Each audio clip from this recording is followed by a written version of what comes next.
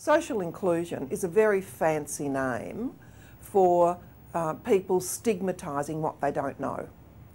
It means that people with mental illness are attributed um, characteristics that are not accurate.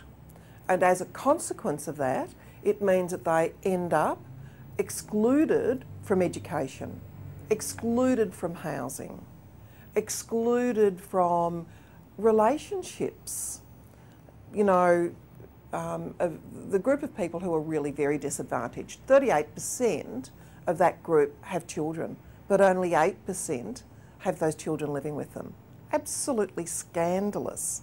And, that and that's the result of not getting the support that they need in a timely fashion to be able to do the things that we all struggle with.